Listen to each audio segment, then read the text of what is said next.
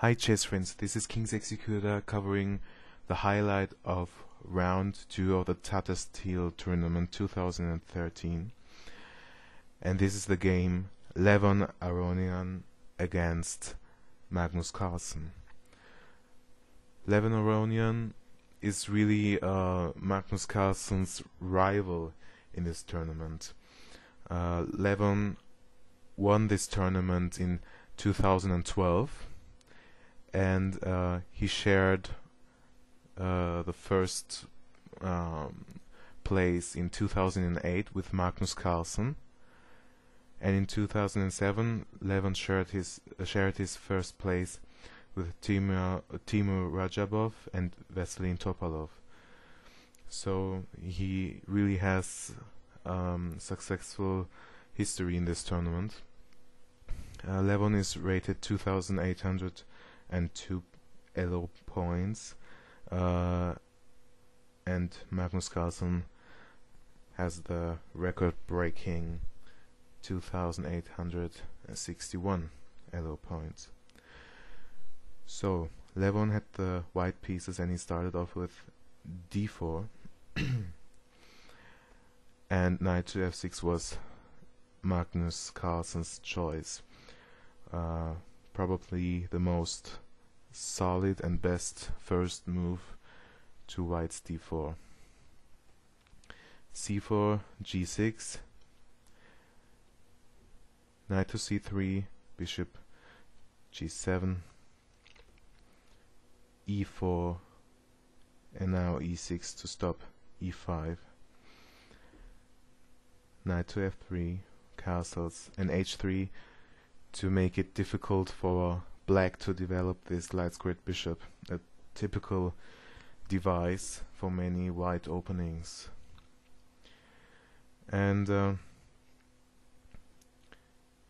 knight to c6 was Magnus's continuation here. Aronian immediately grabbed uh, some space in the center with d5 and knight to b4 you might think that this move looks funny because uh, the knight could be kicked here with a3 and uh, but this is no problem because the knight can be reroute to c5 and afterwards uh, in uh, combination with, uh, with uh, a5 and maybe even a4 this knight would be secured So knight to b4 is a justified move. And um, bishop to e2 preparing to castle. And e6. Okay. So this is not the uh, most usual um, King's Indian setup for black. Most of the times uh, black plays with e5 or c5 uh, e6 here is really the uh, modest attempt to chip away at white's center. Bishop to e3 rook e8 and now knight to d2 giving uh, white the possibility to play f3 or even f4 uh, or kick this knight b4 and knight to b3 maybe. So this is a flexible move. a5 by Magnus. Really preparing to retreat to a6 and grabbing space of course castles. And uh, now we're on move 11 and uh, Magnus played really um, solidly here. He doesn't want to commit himself too much and uh, does really um, look for useful moves and uh, is just awaiting events with bishop d7 here um, keeping an eye maybe on b5 so that there is no trouble with any knight uh, on b5 rook to e1 now.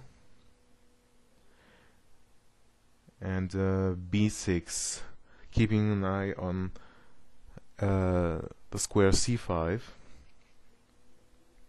rook to c1 and king to h8 and now um, this is a clear sign that e5 could be a possibility with uh, sorry knight to g8 and afterward uh, afterwards f5 so you would have the typical King's Indian counterplay and King's Indian ideas here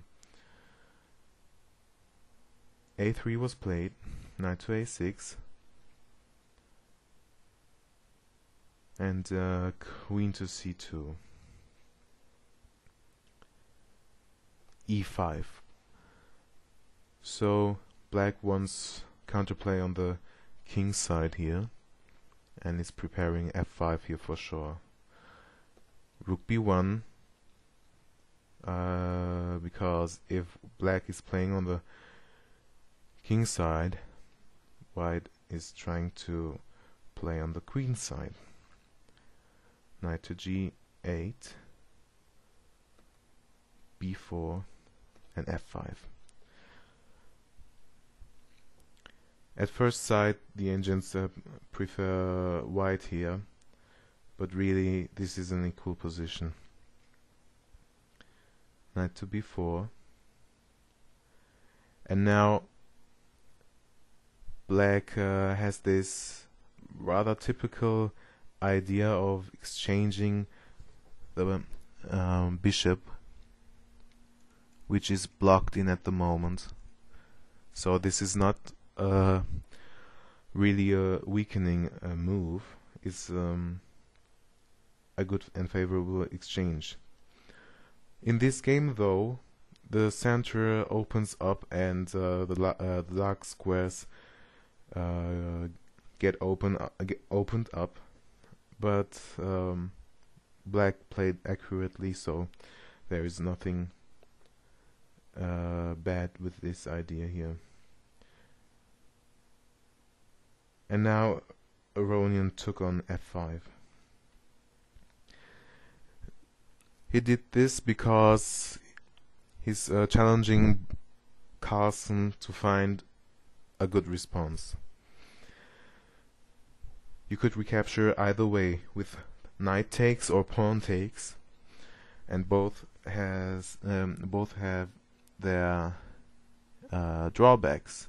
If you were to take with the knight, the e4 square is uh, free for white's pieces, so you can easily see a knight getting there or maybe even um, pieces coming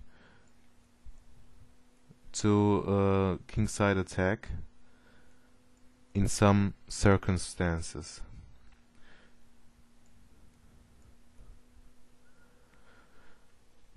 Carlsen recaptured with a pawn here. And now you see the usefulness of king h8 f4 trying to open up the dark square diagonal which is now not um, protected by a bishop. Carlsen took this and now check. King g8 bishop h5 and knight to f7. So you see this position opens up on the king side. Um, this looks a little bit scary from black's point of view and black has to play accurately accurately and uh, this is a position where many people could easily blunder under the pressure um, it's not so easy to play for black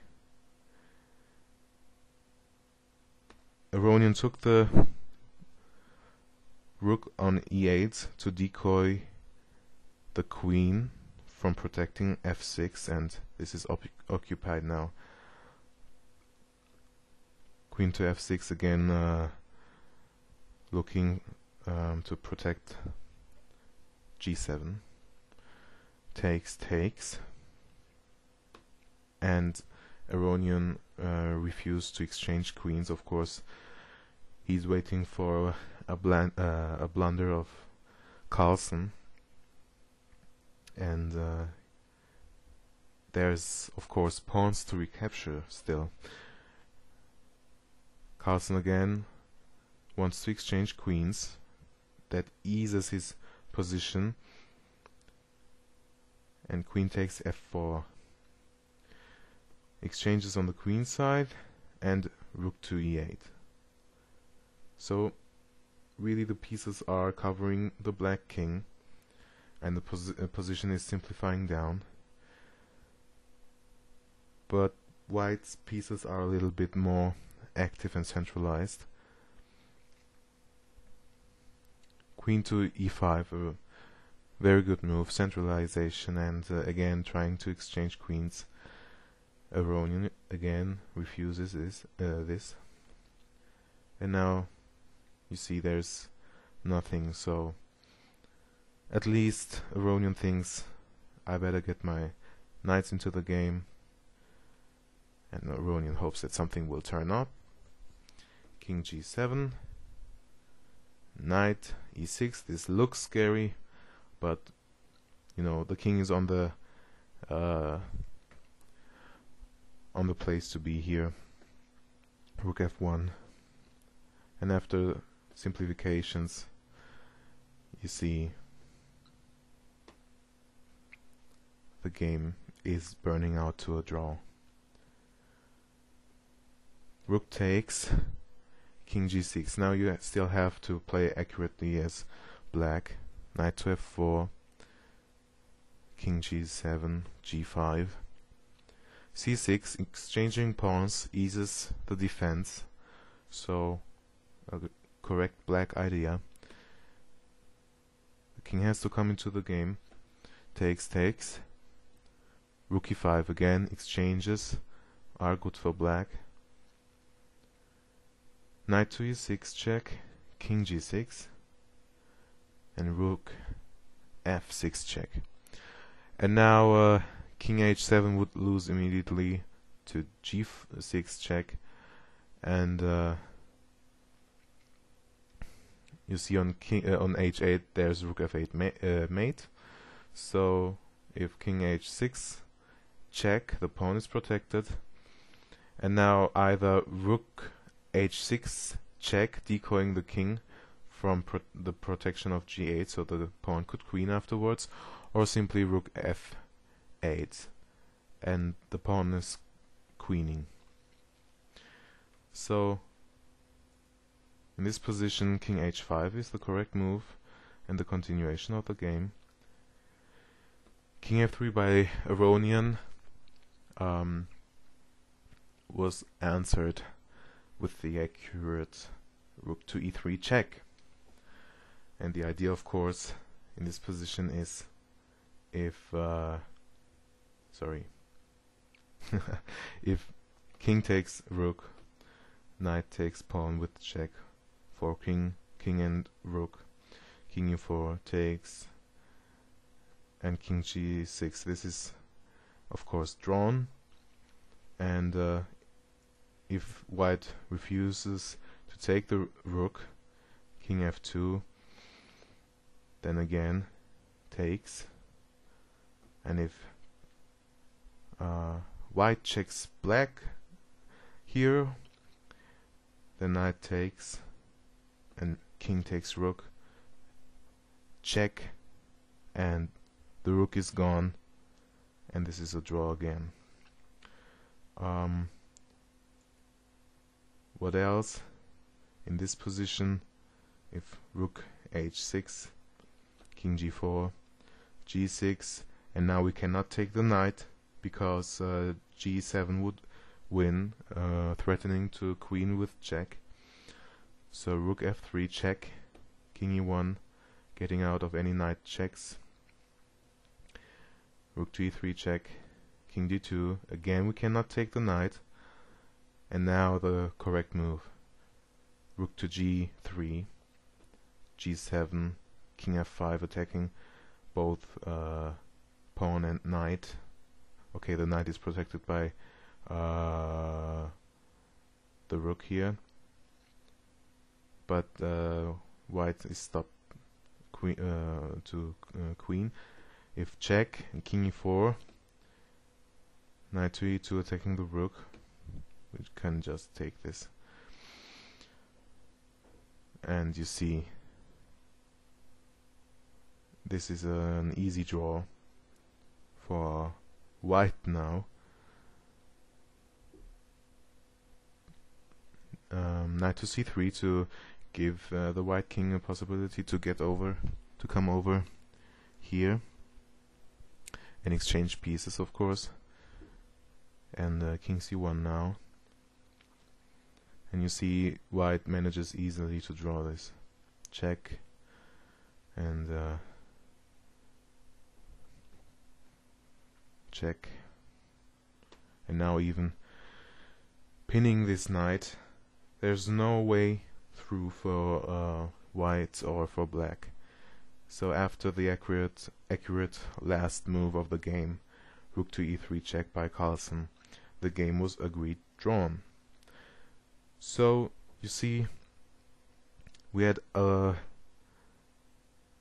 uh, interesting King's Indian type of game and uh, Magnus had no winning chances in any of these um, rising positions in the game, but he showed again that he's a resilient defender and showed that he's not afraid of uh, any position uh, that is a little bit worse for him. And um, I think he will come into action when he has a white pieces. Um, and we just have to wait for this moment uh, I guess in, at Grandmaster level. All uh, always the white player is the one fighting for the win. Uh, most of the times um, especially on this super grandmaster level where this uh, extremely accurately uh, way of playing is employed. And after this position, there's nothing whatsoever for both sides. Okay, white has some hopes for black to blunder, but uh, Carlsen is capable of holding this. Okay, the other games were uh, not the greatest fireworks of today's round. Nakamura uh, lost his position though, and uh, again many draws, very accurate uh, play. Uh, this was certainly the most um, interesting uh, game due to the correctness and energetic type of play both players deployed and I hope you subscribe and comment and like the videos and keep up the clicks and um, I hope you enjoy my coverage of the Tata Steel Tournament 2013. Thanks a lot.